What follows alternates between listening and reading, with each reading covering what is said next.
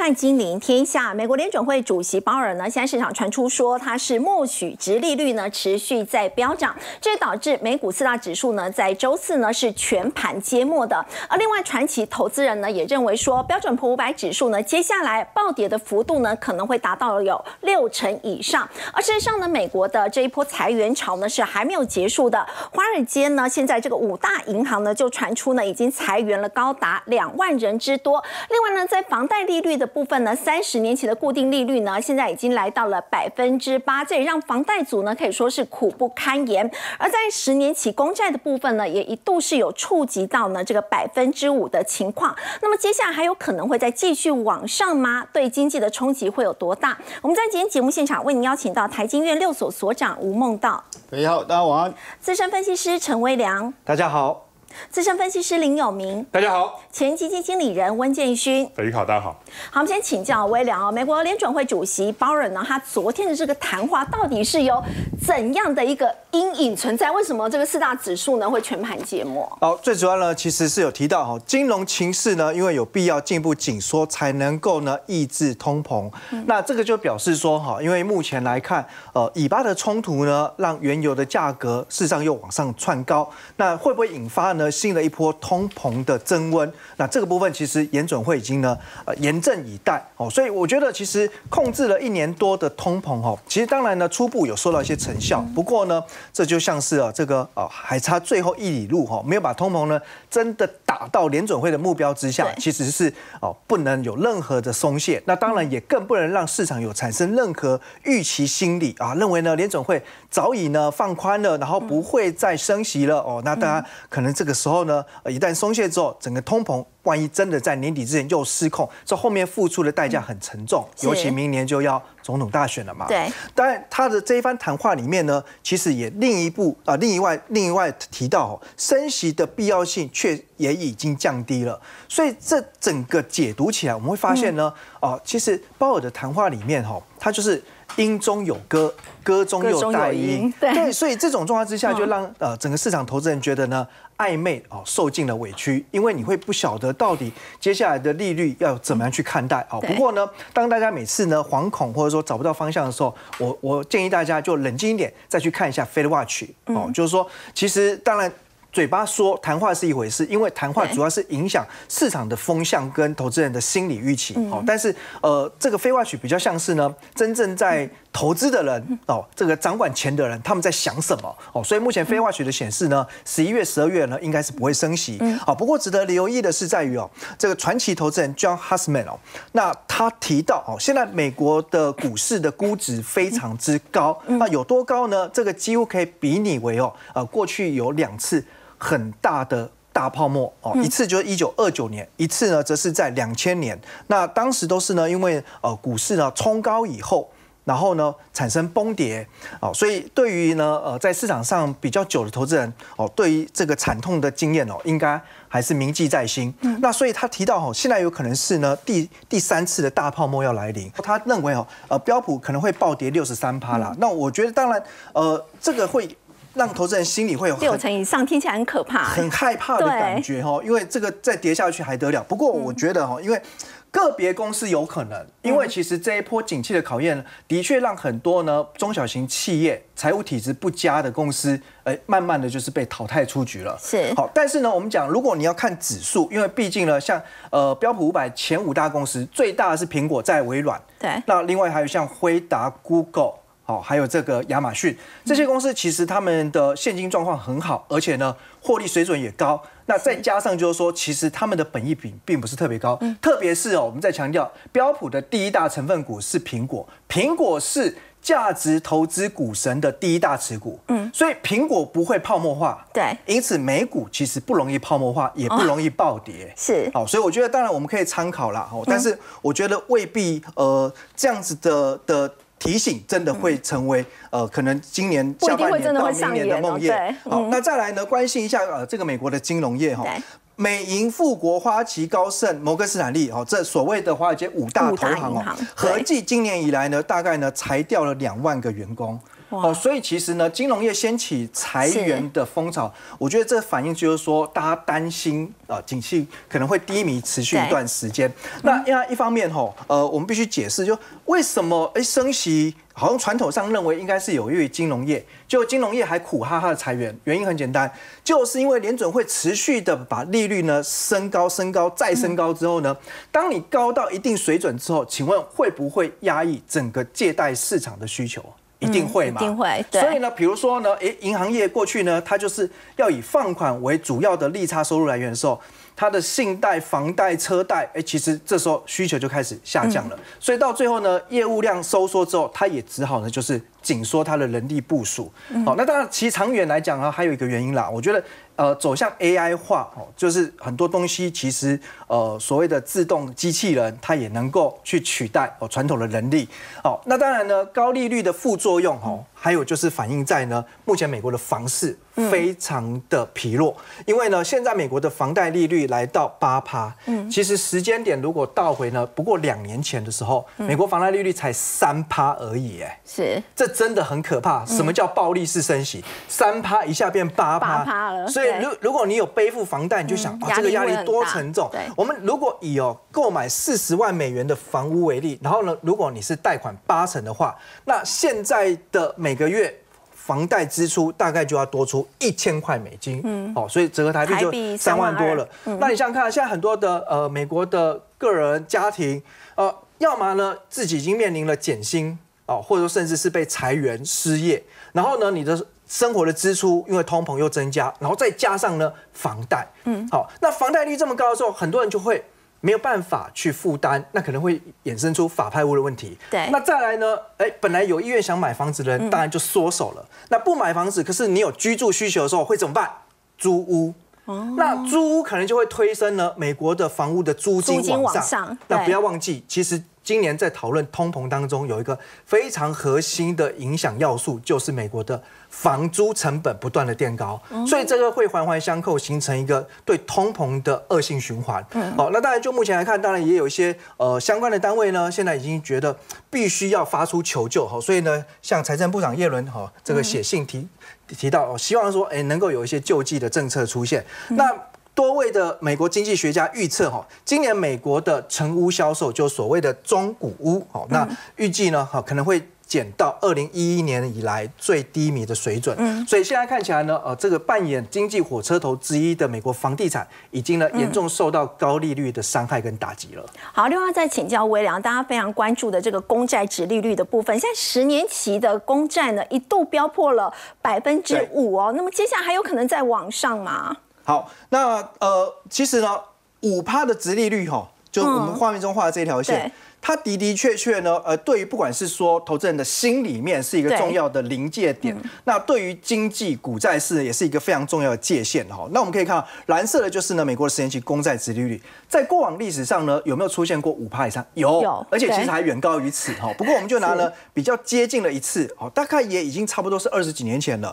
哦，你可以看到，在一九九九年到两千年的时候，这个公债殖率就从呃大概五趴这个位置。继续往上飙高，但是重点在于呢，哎，你看到，殖率往上飙高的时候，哎，股市虽然呃会受到一些震荡波及，可是呢，它的方向仍然还是继续涨的。直到什么时候呢？趋势转向，就是联准会降息了，公债殖率呈现了大幅度下滑的时候，股市就是正式进入到空头。好，为什么呢？因为其实殖利率上扬的时候呢，当然股市的本益比。会因此下修。嗯，那下修的话呢，有一些个股如果它本身的体质不够好，嗯，呃，成长动能不强的，那你本一笔下修之后，股价就跌了。那再来呢，对于债券市场来说，反而就是最佳的布局点了。好，因为我们可以看到，哦，这个几乎就是像是一个呃镜像的反应了。对，就像镜子的折射，有没有？你会看到这个呃十年期公债值率蓝色这条线，哦，只要呢。它往上，然后呢，呃，债券的价格就会往下。所以反之来说，我们看呢，公债值率如果在五趴以上，然后到顶了以后，那你看，其实债券的价格就是在最低点。所以我认为哈，如果想要布局债券相关标的的投资朋友，好，那你不妨呢，哎，了解一下什么叫做存续期间，因为这又关于哈，我们现在在布局债券，其实等的就是。就是降息。好，但今年不会降，那明年上半年应该也不会降。那最可能最快是在明年下半年降息，然后两次。好，但是一旦降息趋势形成之后呢，利率可能就从呢五点五趴，是慢慢往五趴以下、四趴甚至三趴逐步的降下去。嗯，好，那我们想知道就是呢，降息的时候到底债券 ETF 会涨多少？哦，那其实大原则就是呢，啊，越长天期的债券。那降息的时候，它价格上涨的幅度就会越高。好，所以呢，我们抓出哈，目前在国内挂牌的债券 ETF 规模最大的前三名，这分别就是一二三，都超过一千亿元。是。好，那我们就跟大家讲哦，其实可以找出他们的平均存续期间。嗯。好，这什么意思呢？未来只要呢，联准会每降息一个百分点，嗯，那这些债券 ETF 它所持有的。呃，债券价格平均的涨幅，也就是说哈，如果以零零七七二 B 来讲话，当年总会降息一趴之后，它平均就会涨十三点六一 percent。哦，以此类推，是，所以像是零零六七九 B 的话，就是会涨十六点零八 percent 这样。对，那因为降息可能在明年下半年，然后乃至于到二零二五年继续降，所以从现在开始，你不是为了下个月来做债券 ETF 的投资，你是为了呢，哎，也许一年半到两三年后这样子的持有周期来做布局。那这一段时间，你可以先赚它的配息，那未来等到降息之后，又有资本利的价差，我觉得合计起来哦，两到三年其实。获利呢超过三成的幅度算是合理的计算哦，但是切记就是千万不要有那种好投投资股票的心态，想要一笔梭哈就呃这个捞底之后呢，就期望它马上喷出是不会的，所以现在你可能要把资金呢拆成多笔，然后分散买进。好，刚微良带我们看到呢，如果说美国要降息的话，最快这个时间点可能在明年下半年。那么到时候如果降息越长天期的美债 ETF，它的价格上涨幅度呢，也可能会是最高的。我刚刚也有提到，十年期的这个公债值利率呢，是一度有触及到五趴这样的一个情况，导致在今天其实整个雅股呢都是开低的。要请教永明哥，为什么这个长债的值利率会一直往上面飙升呢？现在市场这样的一个看法，其实是不是比较两极化？呃，对，现在市场上有分三种派别，一个当然是比较乐。观一个是中性，然后另外一个是悲观。等一下我们一一分析哈。那刚刚这个微良有提到一个重点，就是说现在有很多的投资人买那个长天期的 ETF，公债的 ETF，他们之前的一个想法都是认为说要降息了，所以我进去买。那相对来讲的话，因为杠杆的关系嘛，所以价格跳动的很快。但是今年下半年却出现了一个很奇特的状况，就是不是因为降息的关系，有其他的因素造成那个一直在破底，ETF 一直在破底。所以很多人就在讲说，为什么短的没有涨这么多，但是长的一直在飙？嗯，对，那 ETF 的持利率一直在飙，长的一直在飙，价格就一直在跌，所以大家每天早上心情都很差。好，持有这些长天期 ETF 的人，所以我们首先来看一下，这会不会是美国联准会的一个阳谋？好，对，首先我们来看一下乐观派人是这样想。好，第一个鲍尔的一个谈话，他说债券市场正在为我们的这个 FED 啊做了一些工作。原则上呢，殖利率的上升有助于推动经济的复苏。换言之，越长天期的一个殖利率上升，那就代表你看好未来美国的一个愿景，所以你通膨数会往上走，那经济成长也会往上，所以你要给我一些风险贴水。那这样子的话，殖利率上升是可以理解的。好，那金融状况的收紧跟边际会减少联准会进一步升息的必要。要性讲成白话文就是，我们现在不升息了，但是我透过长天期殖利率的上升，它所达到的边际效用其实是一样的，也就是用这样的一个效果来代替我的升息。对，那如果是这样的话，目前看起来就像是阳谋。对，那另外华尔街的看法就是，对啊，因为你长天期的殖利率上升的话，那美国经济向好啊，对不对？好，然后淡化了这个从去年七月以来短长天期的一个殖利率倒挂的问题，所以当时的整个哦这个乐观派的一个气氛拟定出来的投资策略，就是把美元的资产，因为他们看坏美元了，因为不升息了，对，不升息的情况之下，把美元资产转向去投资黄金。好，这是第一个，因为黄金也可以保值。是第二个部分，十年期公债殖利率，当它一旦飙破了五，因为昨天是盘中过，嗯，但是收盘没有过四点九九嘛，四点九八，对，又拉回来了一点。等到你正式破的时候，开始分批来买进这个所谓十年期的一个公债。对，所以乐观派的是这样。好，那我们现在来想一下，费的是不是有能力去控制长天期的一个利率？嗯，好，殖利率。搞不好真的有哦，因为有一些投行的看法是，费德是去年缩表之后，维持每个月最高啊，大概六百亿的美金跟三百五十亿不动产 MBS 的这个到期的不投资。好，这个是我不在市场上去买债券，但是另外有一个可能哦，我手中有的债券我去抛售。我去抛售我现在手中有的十年期、二十年期的长天期的一个公债，向市场抛售出对，，那造成什么样？造成它的价格是不是下跌？因为债券的供给量变多。以前我是买回来，所以债券变少，现在是我抛售，债券就变多。那债券一变多，债券的价格下跌，殖利率不是就上升？所以这个会不会就是用这种方式来去控制，让长天期的一个一指标来代替所谓升息的效果？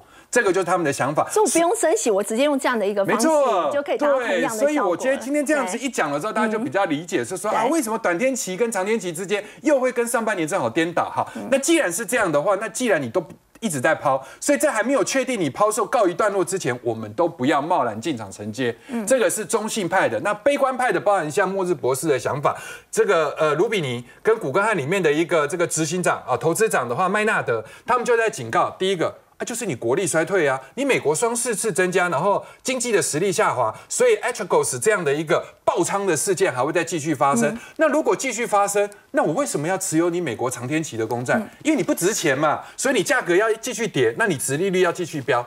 那如果是以这样的情况，这个就会有金融危机哦。所以他们认为说这个地方完全不具有投资价值，而且站稳所谓的五趴啊是变一个常态。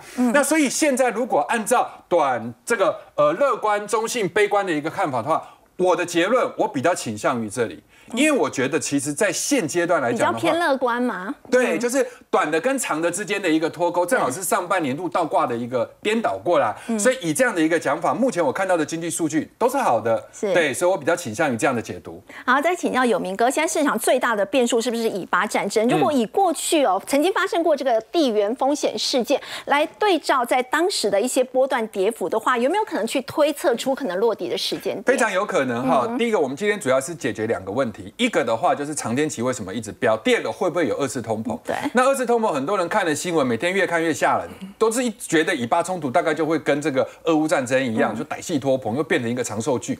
那现在我们来看一下历史上，哈，就是说整个我们把什么伊拉克入侵科威特、韩战、九幺幺，就二战之后所有地缘政治的攻击、恐攻，我们全部做了一个比较表。那这个比较表里面还把这个所谓的标普啊波段的跌幅、落底天数跟收复失土的天数，换言之，落底加收复就等于一个循环。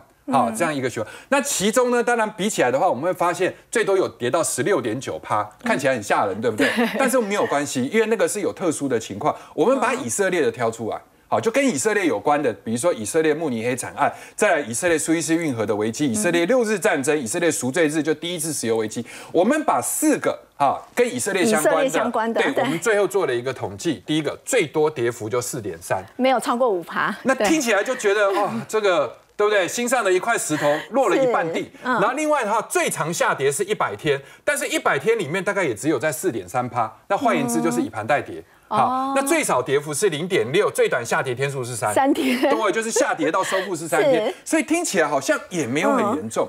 所以最后我们来总结，就是这件事情如果歹戏一直拖棚下去，会不会变成二次通膨？这次的西德州原油的话，也跟所谓布兰特原油亦步亦趋，嗯，基本上高点都没有过，就这个高点都没有过，更遑论俄乌战争时候的高点，而且两个差很多。所以换言之的话，现阶段市场上当然还是主流的声音认为会二次通膨，但是如果就实际上油价的一个期货表现来讲的话，并不支持。那再来我们看一下衡量 CPI 里面有很重要的，刚刚这个魏亮有提到，一个叫房租嘛，一个就是运输成本。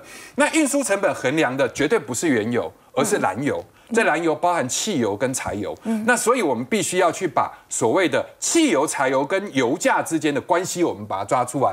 那这个时候会有一个指标叫做裂解价差。所以裂解价差的意思就是，当裂解价差很大，比如说蓝色这条线，裂解价差开始一直不断的上升的时候，这个时候我们油商他就愿意去炼解这个油，那他就会在市场上买比较多的原油，然后回来提炼，然后只是要销售在市场上变成柴油跟汽油。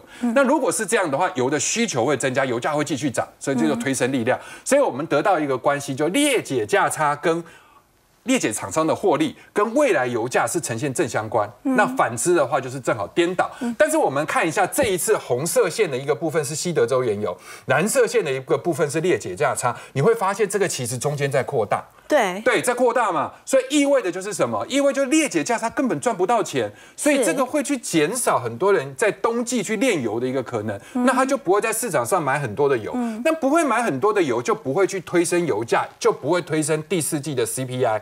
那如果是这样的情况之下，二次通膨说就不扎实，然后未来暴力升息的可能性就会降低。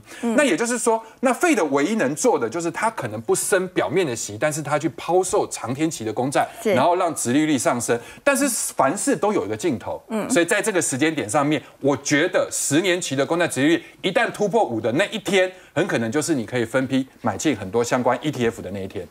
好，刚刚呢，有明哥带我们看到呢，大家都会担心说以巴冲突会刺激国际油价的一个上涨，甚至会引发二次通膨。但其实对油价的刺激呢是没有想象中这么大的。不过我们现在也要再来关注的是《华尔街日报》所报道的，就特别提到说中国竟然是不排除会爆发金融危机哦。请教建勋，中国现在如果真的有可能爆发金融危机的话，还是因为房地产的一个问题太过严重吗？好，今天那个合硕的董事长童子贤他讲说，现在中美贸易战已经从三点零。未来不排除变成国安层级变四点零，也就是说，在中美贸易战的时候，《华尔街日报》它怎么会讲出对中国好的声音呢？当然，反过来讲，你在中国媒体就看不出对美国友善的声音嘛。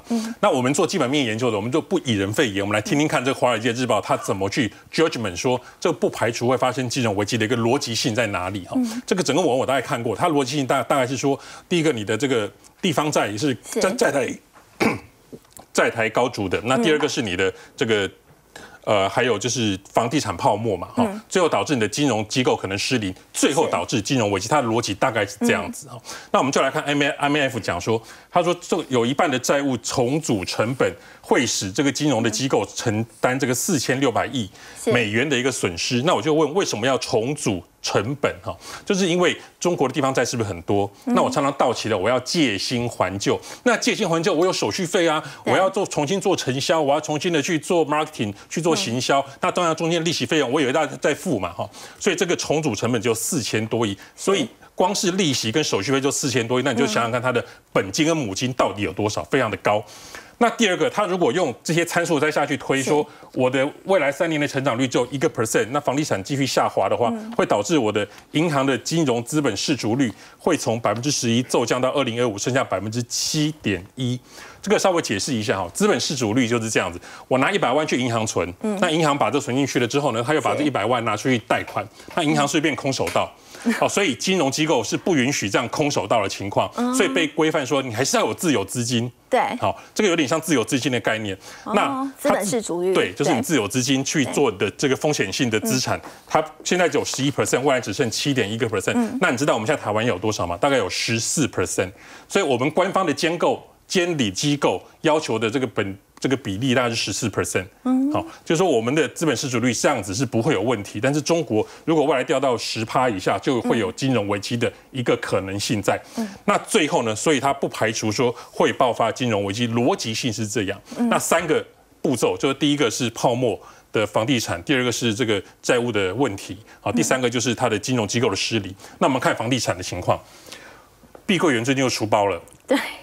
他最近有一个一千五百多万美元的利息没有到，最后期限之内还是付不出来。一千多万美金对碧桂园来讲非常的小，你看他连这个小钱都跳票了，他未来还有一百五十二亿美元，这个是要怎么办？你连零点一五亿美元都还不出来了，是。小钱都还不出来，是大钱，这个未来有很大的一个未爆弹，这第一个。那第二个，我们再来看中国的开发商指数，现在已经跌到了十四年来的新低。我今天早上同事在看盘的时候，突然跳了跳叫了一下，说：“哎，上证指数要跌破三千点嘞。”好，对，在今天真的是跌破三千点。股市就出事，就是出这个经济橱窗嘛，哈，所以中国的经济在出一些问题。那再来，恒大现在股价剩多少钱？剩零点二六港元。零点二六港元大概只剩下那一块钱台币左右。我们讲说它已经是鸡蛋水饺股，但是鸡蛋水饺跟你说，你不要来蹭我的这个价格，你根本价格比我差很多。现在 seven 的一个这个水呃鸡蛋大概要十块钱，水饺大概一颗五到六块，所以 你还在你才一块钱，对。好，所以说这个开发商指数 跟恒大的证券的这个市值掉的非常的多。那最后就是要断尾求生。嗯，传出现在中国第十四大的房企，好叫做世茂这个集团，它的主席他卖的这个养牛场，嗯，我真的觉得他是养牛场厉害，他可以套现多少？套现五十亿新台币。他到底是讲的是金牛吗？还是什么乳牛？不知道是地很厉害，还是它的牛种很厉害。总之，他把这个澳洲的这个养牛场套现了五十亿元。我们知道那个恒大的许家已经被收押了，所以现在很多卖房子的卖房子，卖飞机的卖飞机，现在连乳牛场、养牛场都拿出来卖。好，所以套现，所以反映出来说，中国有没有爆发金融危机的可能性呢？可能是有，但是我们不断定，我们就继续的再观察下去。好，不过我们要请建军呢带我们看哦，中国大陆的这个车市，如果光看表面的数据，你会觉得，哎，它好像卖得越来越好，但实际上呢，这中间是有猫腻的。你在剔除掉出口之后，它其实已经是五年都是在下降的情况，哎。其实今天哈，我们讲的是中国大陆的车市危机，但其实这个特斯拉的执行长马斯克已经先戳破了美国车市的危机，你知道吗？马斯克他自己说。高股高息啊的环境不利于汽车的一个销售，所以这此话一出，让特斯拉股价下跌了九点三个百分点，然后台湾很多特斯拉概念股也都鼻青脸肿。相同的逻辑在淡货大陆也是这样子，它看起来这个。红色的出口哈，包括整个车子的卖，看起来卖的不错，但是你剔除了出口，其实是连续五年内需市场是在下滑的情况。所以它主要都是以出口为主。所以这个是中国车市的危机一嘛？中国车市的危机二就是最近欧盟在对于中国的车市出现了反倾销调查，所以以后你要卖到。中国大陆以外的地方可能就没有那么的容易。对。那第三个危机三就是他们最大的这个宁德时代，就是他们的电池大厂市占率最好的。那目前市占率是不断的在往下掉当中。他说中国市场的这个车子卖不动，是造成它往下掉的原因。嗯。两百万台币的电动车卖不好，我可以接受；一百万的卖不好，我也勉强可以接受。你知道现在中国大陆的电动车都多少？都十万块人民币，就是四五十万的这个电动车。如果连这个五十万、五十万、四十万电动车还卖不好，那我就觉得这个经济体可能是有问题的。我们最近在网络上也有一个很大的一个讨论热搜，就是你的存款有多少啊？而且在年轻人造成了很大的一个讨论哦。所以我们来看哈，你的存款区间在哪边呢？暂无存款百分之十二，零就是月光族大概只有零哈，那一万就是人民币以下百分之九点三，所以这两个加起来两成，有两成以上的是穷忙族，就存款不到人民币一万块，大概是台币四万，对。对，哦，那不止如此，还有工作十，他是跟工作十年之内都算都叫年轻人了，就是大概三十岁以下都叫工作十年之后存不到钱。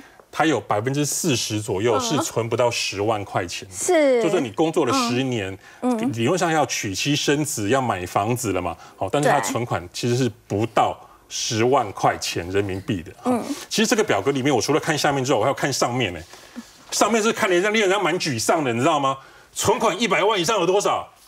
六点三个百分点呢，就是说工作十年以内。我有百分之六的人是存款存到四百多万新台币的，这到底是存哪边来？所以热搜里面也在讨论说。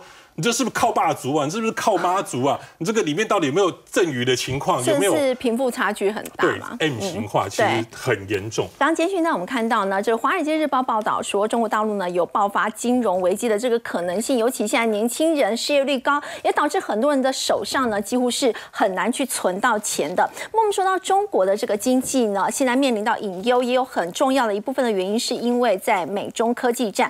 美中科技战之后，大家就说全球的供应链呢开始重。重组了，越来越多的厂商就开始中国加一啊，甚至是离开中国大陆。当然，请教吴所长，真的是如此吗？最新的这个《华尔街日报》报道说呢，其实现在哦，包括墨西哥、印度跟越南，他们有一个很强大的对手哦，竟然是中国的内陆地区。是这个很有趣哦，因为大家想说，哎，反正我要走的，我要走一定是往哪边更便宜的地方走嘛，对不对？那里面当然就包括越南、包括墨西哥、包括印度哦，甚至大家都预期哦，搞不好中国未来的世界工厂的地位。可能就会被这三个地这三个地方给取代，但实际的情况是哈，我说我们看直接看数据说话哈，当然我不是说哎中国的这些工厂不是往没有往这些有但是你发现，哎，可能有一些地，也有一些那个相相较于来讲，可能不是想往外的，他可能会怎么样？他可能会想说，我还是找便宜的地方，但是他可能往内陆走。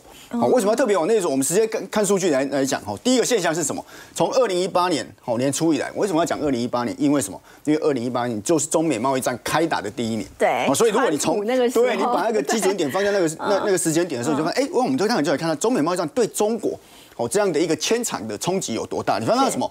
中国中西部有十五个省份，那这个中西部其实就是内陆的省份。嗯，哦，它的出口基本上累积竟然成长了九十四 percent。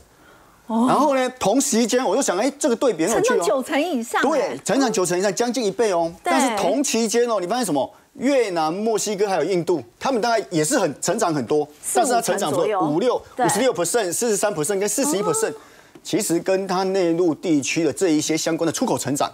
还差了大概就只有它的大概二分之一左右，等于是从沿海跑到内陆去。对，其实你可以理解，还是没有离开中国。对对对，它其实没有离开中国，但是我说这其实背后有一些很有趣的一些思路，我们等一下会详细分析。第二个现象是什么？今天你如果觉得哎这个时间可能拉的比较长，哎可能不准。你今天看今年的一到八月，我他直接跟你讲，同样哦也是一样的，中国这十五个省份内陆的，它基本上什么？它整个出口规模高达六千三百亿美元，但是这一段期间一模一样的一段期间。墨西哥、印度跟越南出口基本上就是五千九百亿、四千两百五十亿跟三千四百六十亿，都比这一些中西部的省份的规模来得小。所以这个其实简单来讲的意思，说我们刚刚讲的是说，哎，你看起来它的成长力道比较低，对，而且你就规模来讲，它的内陆地区这些省份的规模也比你这些其他的地方，所以你说是不是世界工厂的角色真的会移转到印度、越南或墨西哥？我就要打个问号。对，因为其实还是在中国内陆，那其实还是在中国。是没错。那再讲个第三个现象，我说第三个现象其实一样，一到八月我就讲，我们都讲了，哎，最近中国那个出口连五黑嘛，嗯，所以你如果去看一八一到八月的时候，中国基本上整体的出口衰退多少？五点六 percent 嘛，哎，整体衰退哦。但你如果去计算那些内陆城市，你不去就把沿海把它剔除掉，沿海城市基本上你发现什么？其实整个内陆地区它省份的出口成长竟然将近一 percent，它是正成长。它不是衰退，所以这为什么要讲这三个现象哦？其实是讲用数据来表明一件事情。我说，哎，厂商确实会因为中美贸易战可能会想要去，就是去外面去发展，或是去设厂，或是移转船的。但是它也有一部分的厂商可能想的是什么？就是就往内陆。中国加一其实还是中国为主。对，这个其实就背后我说为什么会这样子？它有一些可能因为我们等下聊。是。我们先看一下出口变化。我说这个其实就是我刚刚讲很清楚哈。你发现到这五年来，从二零一六年来。我发现了，中国大概就是中国从十三点一怎么样，直接跳到二零二一的十五点一 percent，占世界的比重，它的出口。那你就发现到，其实我比在往上哎。对，如果这其实就是把前面前十大的这一些出口国家拉拉出来看到，嗯，只有中国跟台湾这两个基本上是。增加了比重增加，对，其他国家基本上全部都是负的成长。那你其实也可以理解了，因为大概这过去五年，其实说真的，台湾出口到中国的比重确实在往下滑。但是老实讲，真的这个比重基本还将近四成左右。嗯哦，当然还有还有四成，所以其实简单来讲，就是中国出口比重在一定会拉抬台湾的出口比重。是。哦，那我说背后到底真正可能的原因是什么？我说四大原因。为什么会造成这样的现象？第一个，政策。嗯，哦，什么政策？其实我都讲了，其实你发现要从二零零八年金融海啸之后，中国一直在干一件事，什么事情？它叫区域结构的调衡，那个平衡发展。什么叫平衡发展？它其实就简单讲，因为过去有大部分的是一些所谓的资源呐，或者是这些资金全部都集中在沿海地区，他觉得这个不均衡发展，对它的内陆基基本上就对它整体的中国基本上不好，所以他把一些想要想想想办法把一些沿海地区的资源慢慢赶到内陆去。哦，那这个其实平原发展自然就会怎么，就会去。带动整体的这些内陆的发展，这是第一个。第二个，成本的问题。对，我们讲刚刚讲的嘛，你去墨西哥，你去越南，去印度，你考量还是成本。对，内陆其实说真的，相较于沿海，它也是成本相对比较低廉嘛。不管是土地，不管是人力，是。所以当然厂商有意愿往这边跑。那第三个是什么？基础基础建设。那当然我就讲，其他国家说真的啦，我我不是说它未来不会赶上中国。但是目前看起来，整体的基础建设还是中国相对短时间要追上还是有难度。对，有难度。最后最后一个，我觉得这个最有趣的产品。嗯。好，为什么要特别讲产品？我说会出走的哦，很多都是因为什么？考量到哎，美国可能会制裁我。嗯。所以有一些高科技的，我就会当然往外走嘛。对。但是我说大多数是什么？很多传统产业，包括什么做衣服的啦，或者是这些什么卖玩具的哦，或者是这一些相关的，就比较传统产业这一些，我当然我是留在这边。当然比较好，因为美国又不会制裁我。嗯，那我既然我可以这边比较好，我当然就留在这边生产。那如果照这样看的话，中国大陆应该是经济状况还不错啊，因为很多的厂商还是选择留下来。我们看他们最新公布的这个第三季的 GDP 年增百分之四点九，这是优于市场预期的百分之四点五。但是现在感觉上出口还不错，但整个内需消费是真的比较疲弱吗？是没诶，我应该这样讲哦，内需消费其实相对出口相对我们刚刚讲的，其实有一些支撑嘛。对那其实说真，有支撑这一次为什么那个第三季的出那个经济表现比预期啊对好很多哦？主要就是因为消费带动，就是它其实消费还不错哦。所以消费没有大家想象对对，没有那么差这样想象，我就吗？讲了，因为你看前三季，我说为什么会正成长四点九，里面他跟你讲的最大的贡献来源就是消费贡献的八十三点二。我这边把它的图形拿出来，你看三级产业比重，你看看得很清楚啊。对它自从二零一三年哦开始跟这个制造业交叉之后，第三级产业我们都知道嘛，这个就是内需服务产业嘛，对其实就主要以消费为主。它现在的比重基本上都在五成以上哦，所以它其实对中国经济的拉抬作用其实是有很大的一个作用在。我更不要讲，我就讲到就用股市图来讲，我就讲从疫情发生的时候，负成长这么多，一底比一底高，这代表什么？这其实就是什么？我 因为我不是股市股市专家啊，我是说从这个角度来看，我是说中国消费可能最糟的实况可能已经过过去了，好，现在可能慢慢在复苏，但是强不强？我觉得要留意下一个风险。好下一个风险好，我们下一页。我说下一个风险，我是说房地产吗？对。还是最危险的是来自这刚刚其实建勋产有有聊了哈，嗯我说其对实他现在最担心还是中国的房地产问题。为什么啊？其实它跟消费也有关系。我一直说它牵动的哈，不只有投资，房地产我们都讲的是投资嘛，它其实跟消费有关系。什么意思？我们现在看投资，我说你从下半年看得到，中国政府一直在做一件事，它刺激这些所谓的那个消不是消费，刺激房地产的这个一系列都跑出来，不管是认房不认贷，或是怎么把你的投机感降低对。但是你会发现，固定资产里面，我想投资还是要往下走。嗯你发现刚刚我们消费已经慢慢开始要往上，投资还是要往下走。是那投资往下走，里面最重要就是因为什么？房地产的这些投资，或是它相关的这些指数，基本上还在持续创新低啊。简单的讲就是什么？房地产看起来，我即使用了这么大的力去想要去救房市，但是怎么样？看起来这个坑还蛮大的。嗯，它没办法怎么样让它立即的效果立即显现。哦，所以我说房地产目前我觉得就是中国最大的问题。那当然，我刚刚讲为什么？讲的就是，哎，为什么它其实，在整体的这一些房地产，它会牵动这样的一个那个相关的消费走势？我我说简单来讲啊，我说这一次我，包括的这些放水要刺激房市里面，最重要的是什么？我们讲官方放水其实就是什么？降息降准嘛。在降息降准的过程中，你是发现到红色利率其实就在降准率，你发现到利率一直往下走。OK，结果怎么样？就本来预期把这些钱都移到，希望移到刺激去房地产实体经济，结果你发现到什么？这个蓝色的线就是什么？居民的定期存款，它可以定期存款一直往下。简单来讲就是什么？他都把钱，哎，我拿到钱我就把它储起来。存起来不消费，他没有转化嗯成投资，他也不拿去消费，所以你可以看得到下面这张图很清楚。哦，他跟你讲这是总体房价，哦，基本上跟什么跟消费者信心的一个表表示。哦，这个还是往就是简单讲就是后移十二个月，简单有一种它有领先的关系啊，你可以看得到很清楚哦。这一些柱状图的部分是总体的房价、o k 红色的线是它的一个消费者信心。是你发现到什么？当你今天你的整体的房价高的时候，消费者信心就高。哎，对如，果今天你看房价，现在整体的房价还在低点，低点的时候而且还领先当然就12个月就没有消费对，目前的整体的消费力道还很疲 软，所以我说哦，其实说真的，你今年还是要看中国经济的时候。如果简单来讲，就是说你基本上如果除了房地产，哦，我觉得是最大的问题。但是你要担心它会不会接下来又引导到消费，因为如果假设前面我们说消费是中国经济最重要的带动来源的话，假设现在被影响到了，那我觉得明年中国经济相对来讲可能就有一些隐忧。好，我们先休息一下，稍后来看哦。现在时序已经来到十月的中下旬了，现在是布局集团股的好时机吗？先休息一下，稍后了解。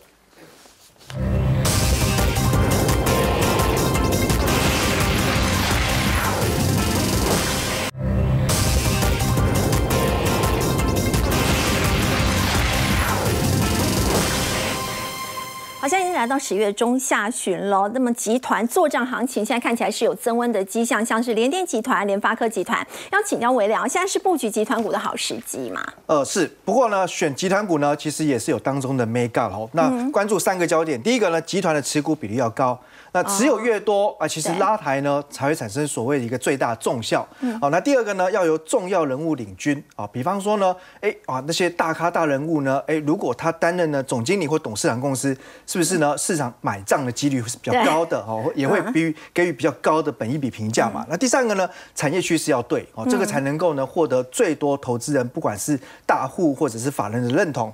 那我们讲哦，最近的联家军哦，那广泛来看呢，包括联电跟联发科集团哦，我觉得呢有一些公司哦，其实你从现行的走势上面来看，哎，它已经就是哎越垫越高，呈现这种多头的态势了。那其中呢，我觉得联电集团哦，重点可能不在呢大家长。而是旗下的像联阳、联捷、原相、智源系统，重点不在联电身上。对，好，但是联发科不一样哦。哦，我觉得联发科的本尊也很有戏 联发科自己就很有戏。对，尤其其实台积电也讲到哈，这个手机市场也在复苏了。对对，所以包含呢，它领军的，当然你喜欢活泼一点的，像杨志、九阳啊、裕泰，还有呢新同学达发。达发好，那我们来看一下哈，其实呢，呃，常说人对了，事情就对了嘛。哈，那我们来看哈，其实洪家聪是联电董事长，哦但是他目前呢算是整个半导体业界的算奇葩了，因为呢一个人身兼三家联家军。的董座哦，包括就是呢，呃，联电，还有就是智源，那还有最新接下来就是系统。那我们看到，其实他在二零零八年的时候呢，接任了联电董座之后，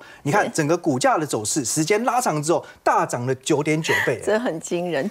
对对，，原本只有六块钱。好，那再来呢？我们看智源，这个更大家印象中现在智源是什么公司？哎，高价高价三四百块的公司。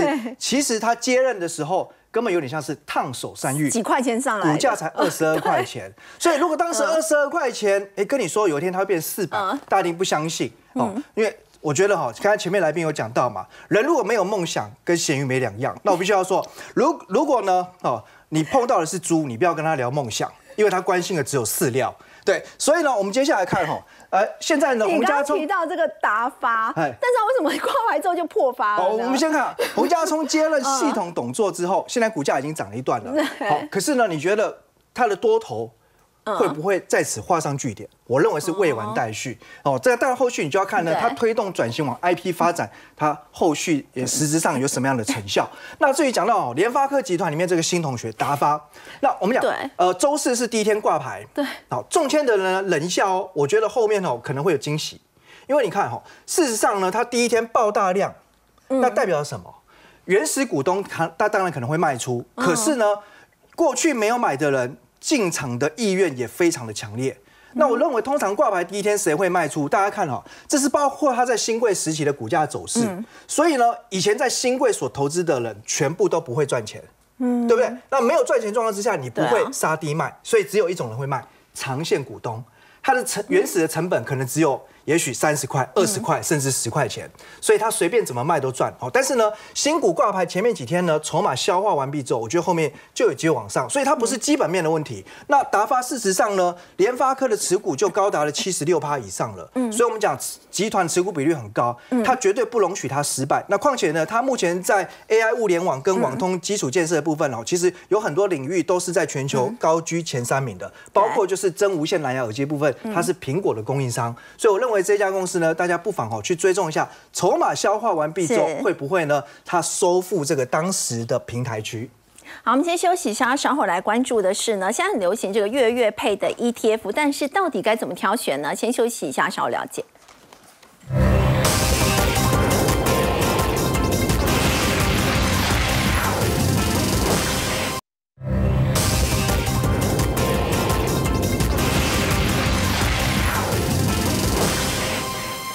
好，最近月月配的 ETF 很受到市场关注哦。不过我们说零零九二九九三四九三六，要请教有明哥，到底该怎么挑呢？好，九二九当然是最近最红的哈。那九三四跟九三六最近都在募集。那为什么月月配这一件事情会变得一炮而红？主要的原因就是说，第一个哈，就是你两鸟在你不如一鸟在手嘛，所以每个月都可以拿到利息。那如果说对有一些人来讲的话，月月配的话，就大额的人买的话，其实二代健保可以扣。还有一点哦，很重要，当你大额买，每个月可以配息的时候，你是不是就好计算？比如说你有水电费要交，或者是你有什么费用要缴的时候，就可以透过这个配息。所以很多人是用这样的一个方式来去想这样。那当然，零零九二九一出来之后，你看它基金规模已经暴增到四百多亿，接近快五百，然后市值已经快要冲破千亿。那我们可以观察一下，因为它里面的持股。股成分是四十档，主要是集中在科技类股哈。但是有一点很重要，就是说它调整一年只有一次。好，等一下我们来讲这件事情到底是好还是不好。那另外零零九三四最近在募集，预计十一月一号。那基本上它的经理费跟保管费啊都还蛮蛮便宜的。然后它锁定的也是前两百档，然后它是五十档。然后呢，一整年下来的话，大概有四个四月跟九月，它可以去做一次调整。好，那它强调的东西就是第一个叫高股息，第二个就是成长。等一下我们也会说零零九三六的话，既然名字叫中小，那它呢就是锁定扣掉 T 五十所有的中小型股，而且它非常集中，只有三十档，然后一整年呢六月跟十二月也可以调整。那我们现在来做一个大 PK，就看看这这几个里面到底现阶段什么样会比较好。那我的结论，等一下我跟各位讲，我觉得零零九三四比较好。哦，因为零零九二九先对，零零九二九先出来。所以呢，零零九二九的缺点，零零九三四去改进它，对，所以他就知道说这个玩法上面来讲的话，它可以在制度上面设计的更好。我们先来看看零零九二九，当然它的一个好处就是因为一整这个半年下来了嘛，所以它是不是就有所谓的平准金？那平准金的话，其实就很像是一个大水库里面的调节池，也就是如果我今天只是。今天今日买进的人，我想要卡明天要配息。嗯，那事实上呢，我那个基金规模啊，我根本还没有赚到钱，我怎么配给你？我当然是从以前有赚到的钱里面存了一笔钱，然后再从里面提拨给你，对不对？但是等到我以后赚钱的时候，我要再把钱放回平准金，那这样子可以维持我们的配息率维持一个比较固定。但是它最大的一个缺点就是一年只有一次在六月份换股。我觉得这件事情就变成非常非常的被容易狙击。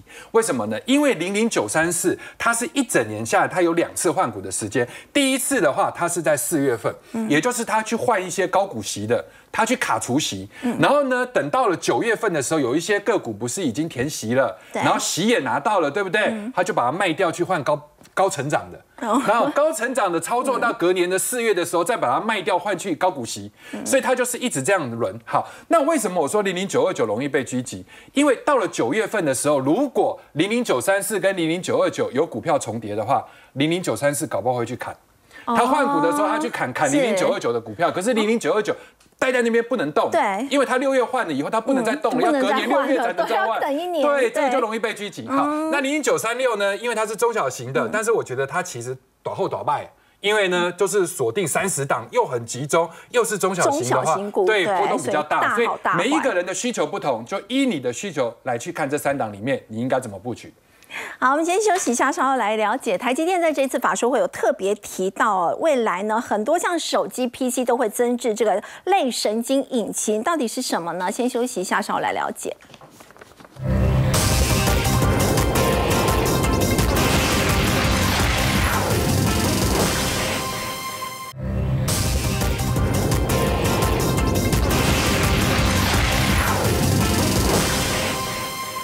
好，在昨天台积电的法说会有有特别提到说，未来一到两年会看到更多的边缘 AI 相关需求，要请教建勋哦。这当中特别提到，像是手机啊、PC 啊，他们会在装置增加 AI 功能，像是类神经引擎。究竟什么是类神经引擎啊？其实台积电不只是我们的护国神山，其实也是我们投资人的一个投资明灯。其实台积电在一在一个月前就讲了一个细光子的东西嘛，哈，就是在半导体的九月的半导体展，对，就只是这个展讲的这个东西，就过去的一一个半月都在讲这个东西 哈。那昨天的这个总裁魏哲嘉他就特别提的这个呃类神经类神经引擎或类神经网络这样的一个东西。那虽然因为今天整个大环境不好，相关的个股没有被带起来，但是我觉得，因为他已经提了好几次了，对，好，他在不同的场合提过好几次，所以我认为这个是在台积电未来不会缺席的一个投资议题，也是这个趋势哈。那其实什么叫类神经网络呢？它其实是一个学习程序或者深度的学习，它有点像我们大脑或神经。深度学习。对，它会互相的连接，好，跟互相的，特别是它可以适应从错误中学习，然后再适应这个系统。嗯，我们想说，这个边缘运算，这不是已经听过一两年了吗？那。为什么这个这边缘运算加 AI 会变成一个新的应用呢？这看起来哈，这个他们已经就掌握到相关的商机，因为他已经明确跟你讲了，我的客户我的需求就从现在开始，而且我的三纳米从下一季就开始要量产。那特别是像电脑的这个视觉里面呢，以前我们有一只在开车自驾的时候，有一只狗过去嘛，我们那个是用特别的光打过去再打回来计算它到底是呃距离现在多距距离有多离有多远，现在根本就不用了，我等于像系这个晶片就有点像眼睛的概念，我直接一看就知道它往这边冲，所以我要刹车。好，这个就是视觉的概念。第二个语音的概念，我们现在不是很多什么 Google 都可以语音输入、语音辨识什么有的没的，但可能未来他可能听到隔壁的人在尖叫的时候，车子就自然刹停了，哦，或者是听到别的车子在刹车的时候就自然刹停了，所以这种。